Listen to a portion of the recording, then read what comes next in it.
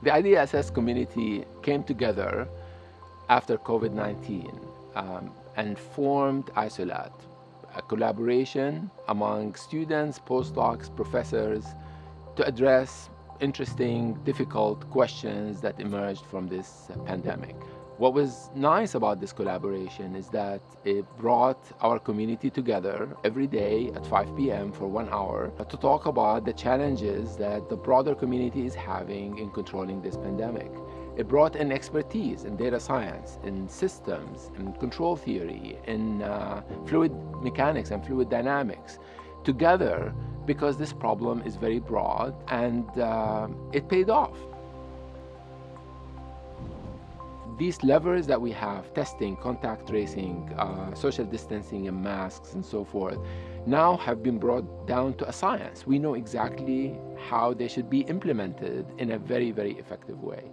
Testing is only one of the levers we have to control the spread of the virus. And we're making use of a number of the other levers actually during this conversation. One is masks, but since we are outside and since I am at least six feet away from the entire crew, I'm going to take off my mask. A lot of people think of testing as a way of understanding the numbers of who's infected and who's not. But testing is really the only mechanism for controlling a pandemic when you don't have a vaccine. It's testing, quarantining, contact tracing that allows you to take out infected people before they infect others and stabilize the whole growth. And the way to think about this is to think about the population in a number of boxes. The first box contains the people who are susceptible. So these are people who have not yet had the virus. So if they come into contact with someone who is contagious, there's some probability that they will get sick. If someone in that box gets sick, they move to the next box. That box is the infected people box. Typically, they will contract the virus and initially they will be asymptomatic. So they won't know that they're sick. And this is the dangerous part of the infection. So the name of the game is to find those people before they can infect other people. As long as you are testing people frequently enough, you can catch people before they pass the virus along.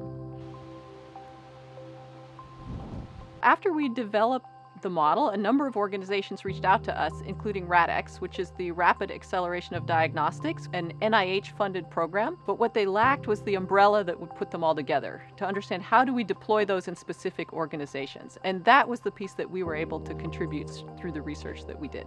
This is the, this is the spreadsheet that we're developing with, with RADx. You can actually do a cost analysis to figure out what are the different trade offs that will enable me to make a rational decision about how to deploy testing within my organization. How much does wearing masks save me? How much does contact tracing save me? How much testing do I have to do um, if I can't social distance some people? If I have a thousand people in my organization, I'm not wearing masks, I'm not contact tracing, how much does it cost you? And here, it costs you somewhere between $20,000 and $40,000 a day. So now instead of $20,000 a day, it's costing me $10,000 a day uh, what if I do robust contact tracing? Now I'm down to uh, $2,500 wow. a day. Right, so you can look at how these different trade-offs work for your organization. The powerful thing about this tool is that we are not telling people what to do, but we are giving them the technology that empowers them to make rational financial decisions that are tailored to their organization.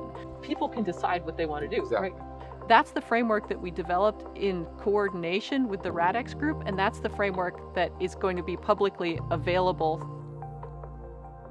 I think the, the really valuable thing about this tool is it lets people tailor their testing protocol to their specific organization. So this is not just a theoretical analysis. MIT has put their money where their mouth is, and we are testing the students twice a week. We're testing the faculty and the staff once a week. And these are the testing recommendations that have also appeared um, in the Massachusetts guideline for testing at institutions of higher learning.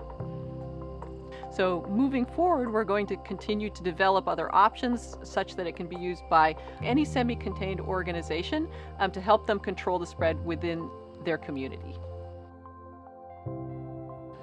The pandemic gave us a much better understanding of what one can do when we don't have vaccine when we don't have herd immunity. At the end of the day, the work that was done under ISOLAT had an impact on what MIT decided to do, what the state of Massachusetts try, decided to do, what many universities uh, have done, and even governments uh, like India, Peru, and others. This is now part of science, and this is going to be impactful in the future.